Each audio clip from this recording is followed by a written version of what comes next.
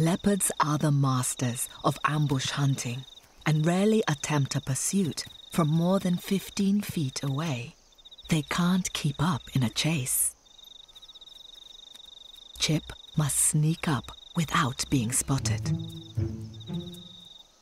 The puku's night vision isn't as good as hers. They can't see her. If she waits for them to fall asleep, she has a chance.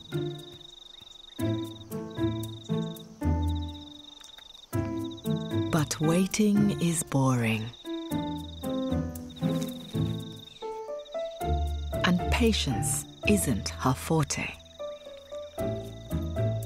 While she's waiting for sleep to descend on the herd, she succumbs to its charms.